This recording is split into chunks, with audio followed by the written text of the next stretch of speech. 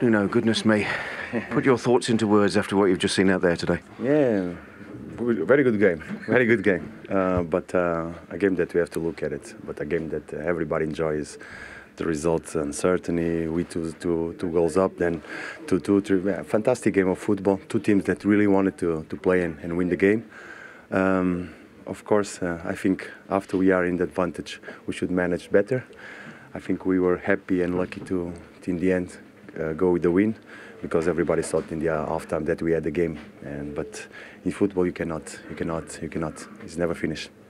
What happened at the start of that second half? Ah, I wish I, I knew. I wish I knew. I wish everybody knew. We cannot. Um, something. We have to look at it. We have to look at it. But we have to, to do better in those moments. With 2-0 up, we should manage better the game. Of course, now we are we are speaking with uh, with the happiness and relief. If it was not, uh, I think we would all be blaming, ourse blame ourselves for not achieving what, what we achieved.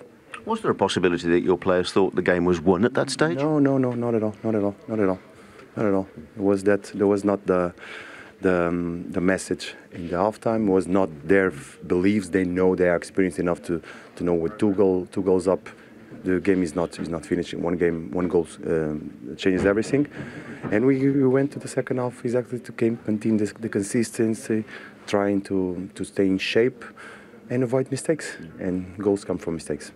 Well, you went ahead again through Diogo Jota in the second half for 3 2. Yeah. As manager, could you even enjoy the ball that Ruben Neves put through to him? It was a good, good, good pass, a very good pass. It was a fantastic pass. Now, tell us what happened at the end then when Jota scored the winner for 4 3. What, what, you know, you went to join in the celebrations, and then where did you go? Yeah, I was sent off, but uh, rightly so. Sent off, yeah. You think that was the right decision? Yeah, we cannot, uh, we cannot go in the pitch but uh, I went outside yes. and I just put yes. one, one, one. In one fairness, you did your best yeah, to stop it. but yeah. someone saw me. Just before the game, we spoke we spoke about perhaps what Wolves have learned. You know, we're halfway through the season now. Well, I have to ask you, what on earth have your players learned from that 90 minutes out there today? Yes, they know one thing that the full, the game is never over, and you keep still believing. And um, we have to play. We have to play. We have to play to win. This is football. We have to play to win. I think both teams did a, a fantastic job today. I think the, joins, the, the fan enjoyed it, who was at home enjoyed it also.